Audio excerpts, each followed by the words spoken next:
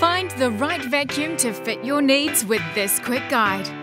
There are four common types of vacuums and it's important to consider what you will be using it for, as this will determine which type would best suit your needs. Upright vacuums are a traditional style of vacuum as it has the cleaner head at the base. Models that are height adjustable are great for catering to the different heights of users. Canisters are a popular option, where both bagged and bagless models are available. Bagged canisters provide the ideal solution for controlling fine dust because it is contained into the vacuum bag, making them ideal for those who want to reduce coming into contact with the dust and dirt.